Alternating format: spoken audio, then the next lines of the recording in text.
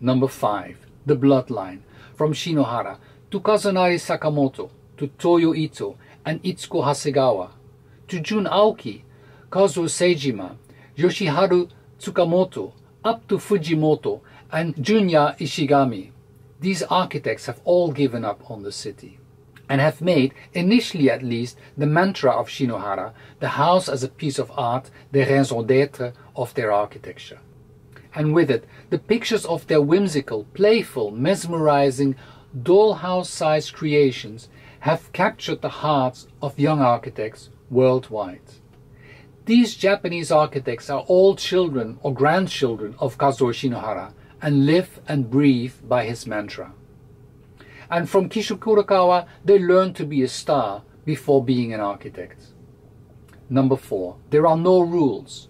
Apart from the very strict earthquake, fire protection regulations and shadow lines that define height restrictions, there are no rules. At least no limitations that would smother the artistic expression of the architects. And thus anything goes, from open to close, from wood to concrete, from small to extremely small, from the pompous to the sublime.